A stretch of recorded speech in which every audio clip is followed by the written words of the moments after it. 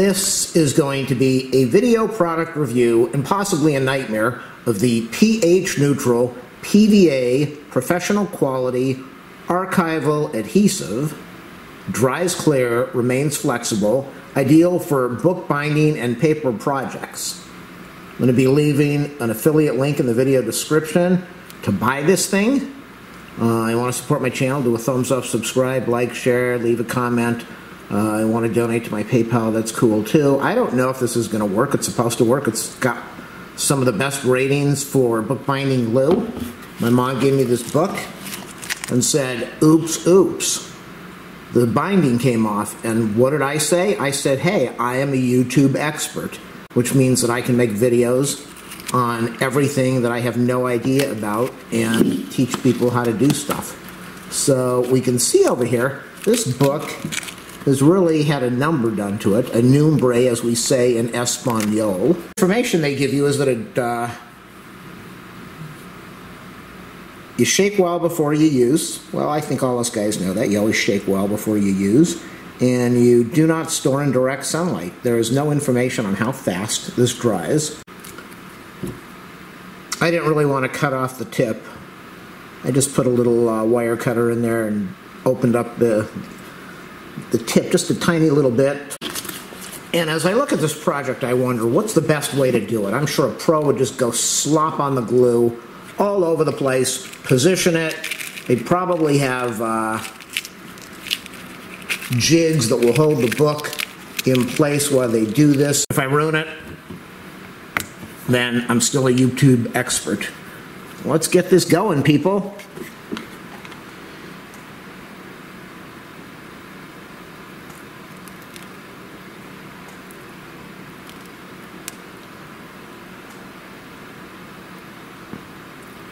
What happens if I get too much glue in there? And you can't turn the pages. oh boy.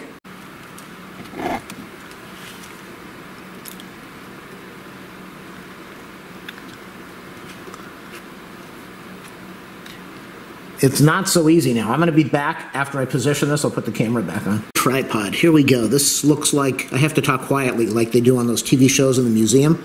So this has been on for about eight minutes now, I think. Been three, yeah, five, six, seven, eight, maybe eight, eight and a half minutes.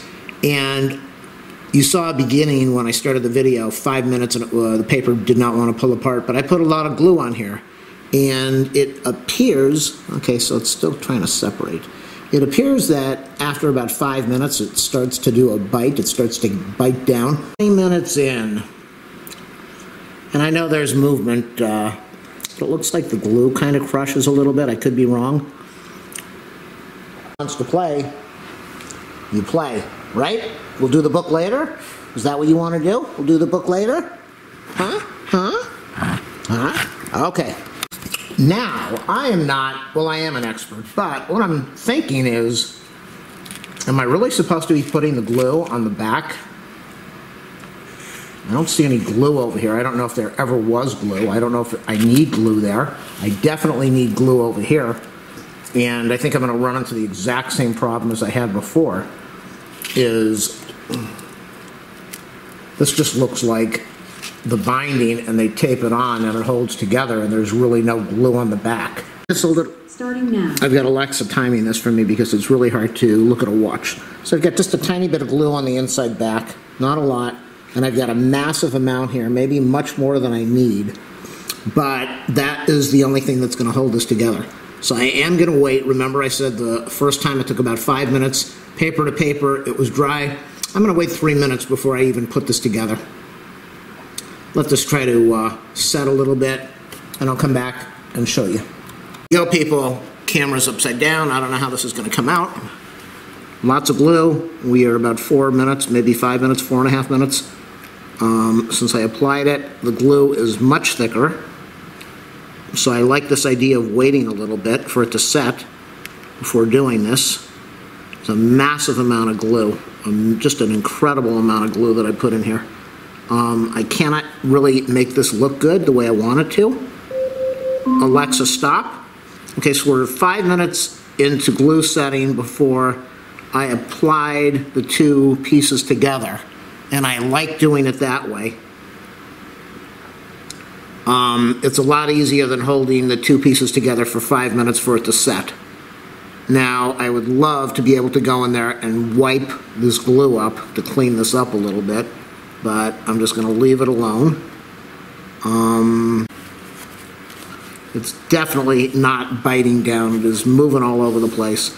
So, it's not a quick drying glue, which I guess if you're a professional, a quick drying glue might make it better. Um, this gives me the chance to move things around and reposition. But for me, it would be a lot easier if this was a quick drying glue. Just pop it on there and it either works or it doesn't.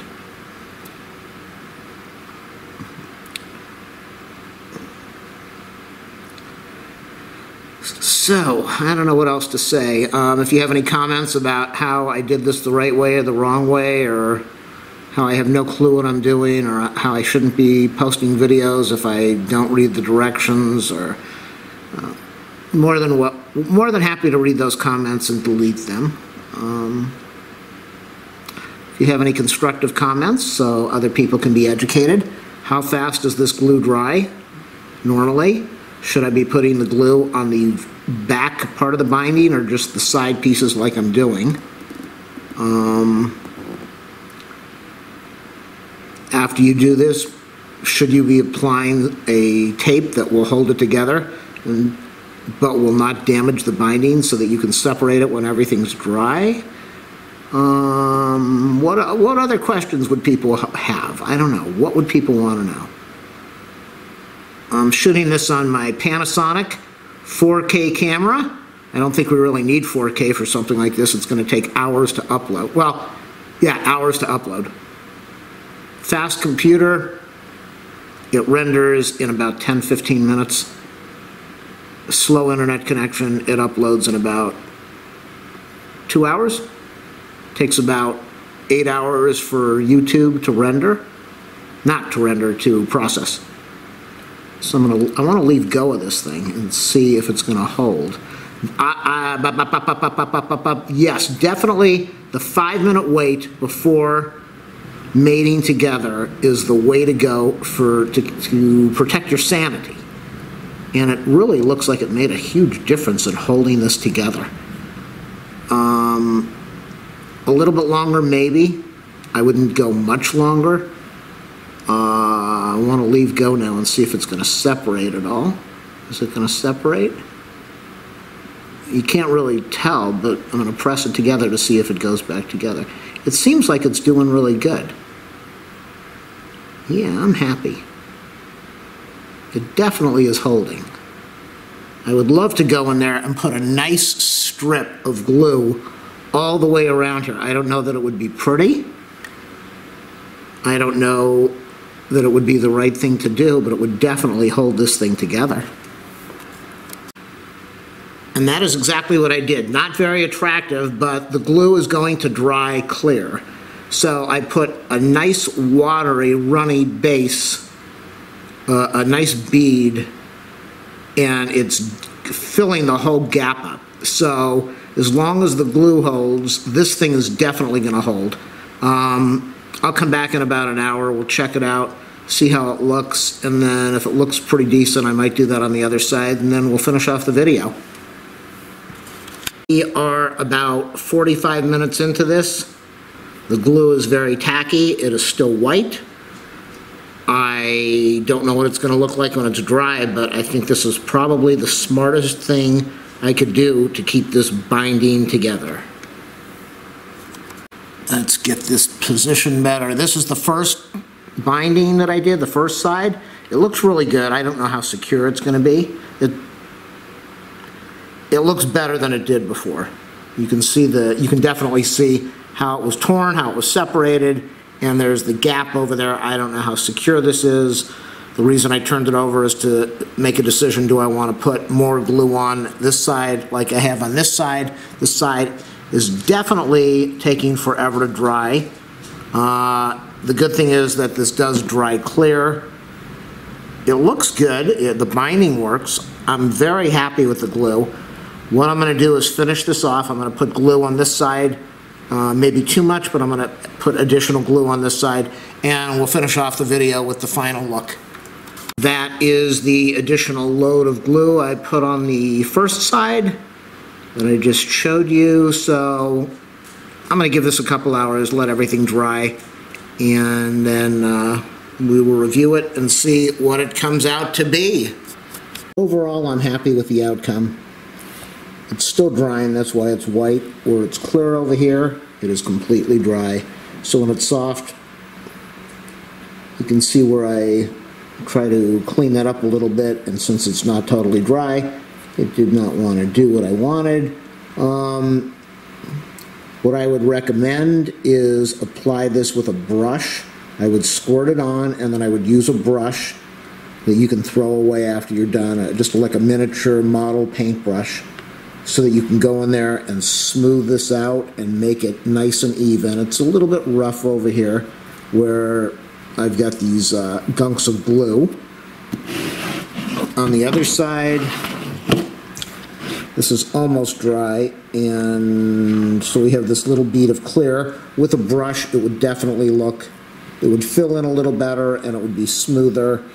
Um, if you're just trying to save a book for nine bucks, you buy the glue, you're going to get a, a nice job, and it will be done. If you're trying to save something that is worth thousands of dollars, then obviously you do not want to do this job by yourself, but you have to decide is it really worth spending all that money to save a book binding? So this will take care of the average bookbind problem. It did a nice job. And once everything is dry and we don't have this white showing, it will be acceptable, it will be good enough, it will uh, serve the life of the book.